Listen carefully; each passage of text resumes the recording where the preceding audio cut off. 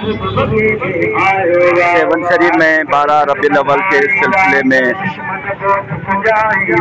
جلوسوں کی آمد شروع ہو چکی ہے، آغاز ہو چکا ہے یہ سیون واسیوں کے آشکان مصطفیٰ ہیں۔ ہر گلی گلی سے سیون شریف کے ہر کوچے سے، ہر سڑک سے اسی طرح قافلے برآمد ہوں گے۔ نہ صرف سیون شریف اور اس کے آس پاس بھی بہت زیادہ قافلے آئیں گے۔ رسول پڑھی جا رہی ہے کروڑوں لاکھوں درود و سلام مدینے والے کی خدمت میں پیش کرتے ہیں اللہ تعالیٰ سب کو قبول فرمائے آشکان رسول رہے شریف میں جشن عید میلاد النبی کے سلسلے میں جلوس نکل رہے ہیں۔ ڀنگي ۾ آيو اسه كار ڪيا آگے پیچھے سیکیورٹی کے حساب سے پولیس اور ایمبولنسز اور ریسکیو کی ٹیمیں ہیں۔ اللہ تعالیٰ سب کو اپنے حفظ و مان میں رکھے۔ بارہ ربیع الاول کا دن ہے۔ سیون شریف میں جشن عید میلاد النبی کے سلسلے میں سیدنا حضرت محمد مصطفیٰ صلی اللہ علیہ وآلہ وسلم کی آمد کے سلسلے میں جشن عید میلاد النبی منایا جا رہا ہے۔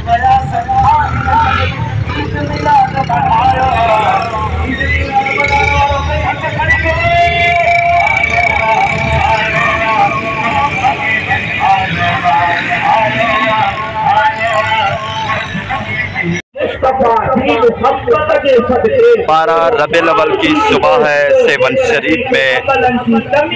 سیون شریف کے تمام عاشقان رسول اکٹھے ہو کر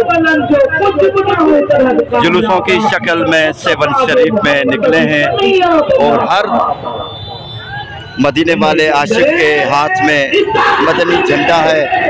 جشن عید میلاد النبی کے سلسلے میں ریلیاں جاری ہے سیون شریف اور اس کے آس پاس بہت ساری ریلیاں نکلتی ہیں۔ ابھی دھمال چوک پہ یہ ریلی پہنچی ہے۔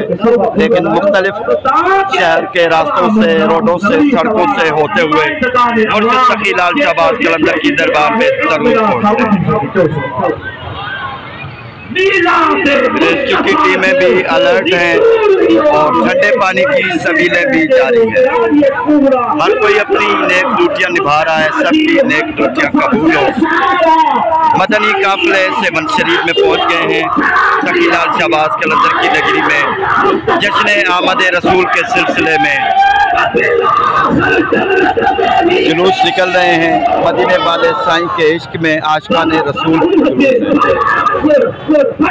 جلسے ہو رہے ہیں۔ ہر جگہ پر ہر گلی کوچے اور ہر شہر میں ہر جہاں پر دیکھتے ہیں، وہاں پر مدنی قافلوں کے نظارے۔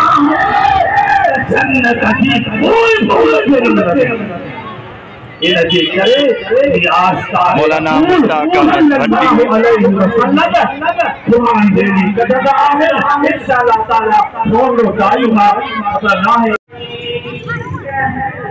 مدینے والے سائیں کی ولادت کے سلسلے میں جشن عید میلاد النبی منایا جا رہا ہے اور سیون شریف کی گلیوں میں بہت سارے قافلے آشقان مصطفیٰ کے قافلے سیون شریف کی گلیوں سے نعتیں گاتے ہوئے جھنڈے لہراتے ہوئے جشن عید میلاد النبی منا رہے ہیں۔